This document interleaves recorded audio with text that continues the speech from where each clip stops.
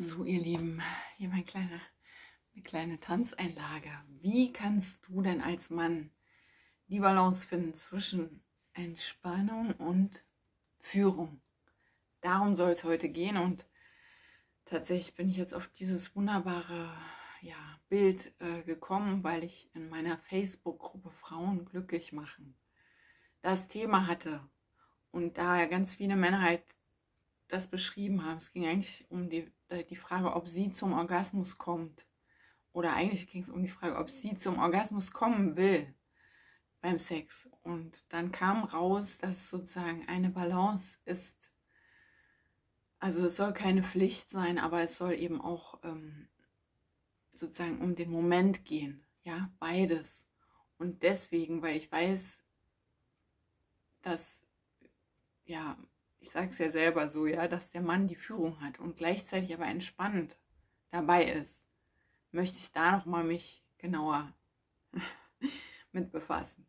So, also wenn das deine Themen sind, dann gib mir gerne ein Abo und schau dich auch mal auf meinem Kanal um. Ich habe mittlerweile, ich meine, über 150 Videos zu den Themen und ich mache gerade eine Woche, wo ich jetzt jeden Tag ein neues Video mache. Mal gucken, wie lange ich das hier durchhalte.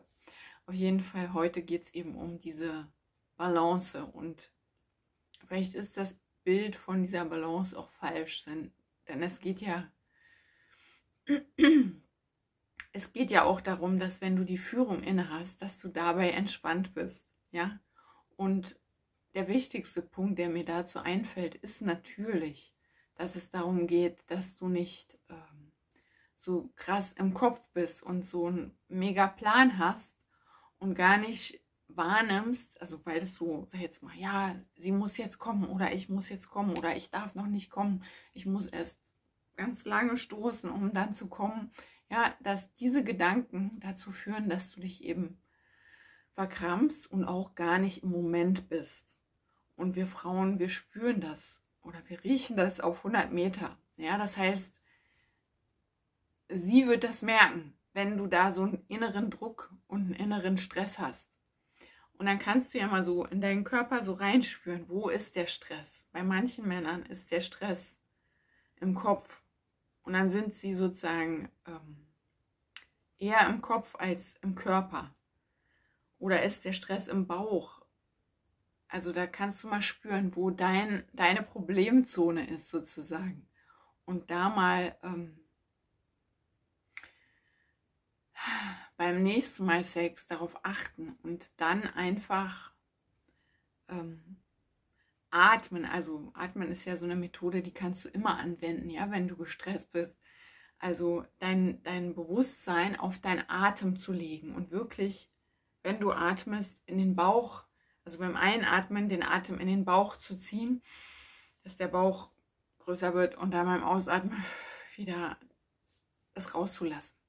So, und das kannst du ein paar Mal machen. Und dann eben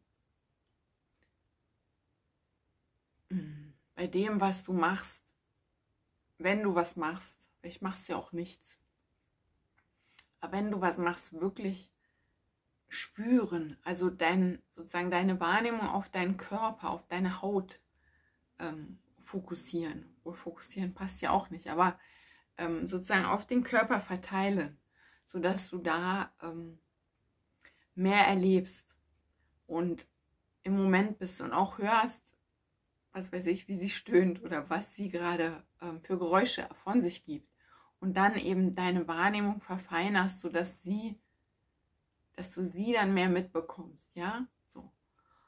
Und aus diesem entspannten Zustand, den du dann hast, dann gibst du sozusagen ab und an Impulse rein.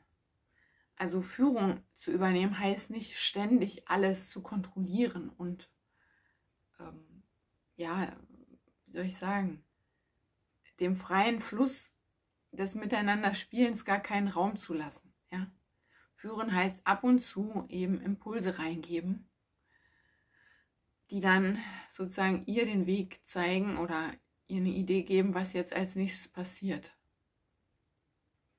Und vielleicht hilft dir das, ja, weg von diesem riesigen ähm, ja, von viele Männer erleben das als Belastung, ja, dass sie das alles managen müssen und so weg von diesem riesigen Paket hin zu dem, ja, Führung ist doch Impulse ab und zu reingeben.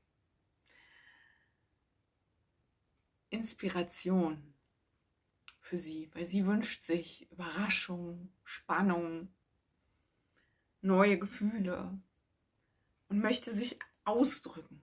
Ja, und das kannst du halt wunderbar begleiten, wenn du das ab und zu eben ihr was Neues reingibst.